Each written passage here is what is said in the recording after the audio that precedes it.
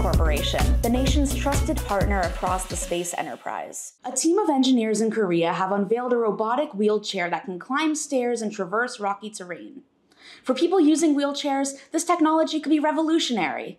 That is, if it's actually accessible to the average consumer. This robotic wheelchair comes from Korea's Institute for Machinery and Materials, its large wheels normally have a standard rigid form like a typical wheel, but what makes the wheelchair so spectacular is that the wheels can become compliant when they encounter an obstacle, which makes the wheels conform to the object's height and shape. The wheel uses a smart chain structure, which means that a chain on the wheels attaches to spokes that change tension when confronted with changes in the terrain.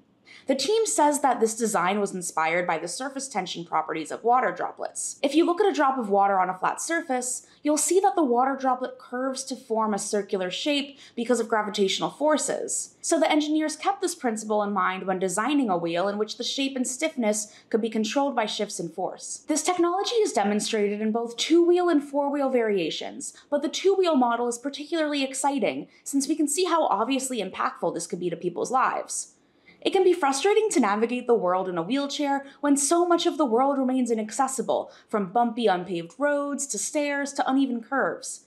This wheel design could be a big improvement over existing chairs, but no technological innovation is actually that groundbreaking unless the people who need it actually have the means to attain it. So far, there's no word on when or if we may see this wheelchair design on the market. That's normal since this is such a new development, and scientific innovation takes time. Once the engineers have a prototype, they'll still have to make sure that people can safely use the wheelchair. For example, if you're building something that will allow people to climb stairs in a wheelchair, you want to be really positive that the chair won't malfunction in the middle of a staircase. In the meantime, there are plenty of ways we can all chip in to make the world more accessible. To the people in my neighborhood specifically, the middle of the crosswalk is not a parking spot.